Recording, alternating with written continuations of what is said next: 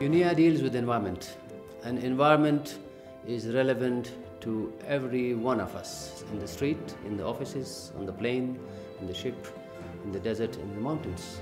We cannot close our eyes to the changing environment. Whatever UNEA decides will have Im- impact on the life of every man, every woman, every child in the streets and everywhere.